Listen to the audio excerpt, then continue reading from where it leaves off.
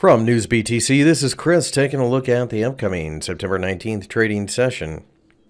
In front of you, uh, I have the Bitcoin dollar uh, pair, and you can see that we have retaken 4,000. Very bullish sign, but there is a lot of noise above.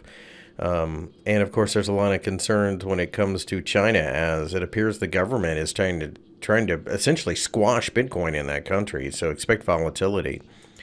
Over here against the yen, you can see that we continue to rally in Bitcoin. A move uh, to 480,000 yen level could uh, potentially be in the cards.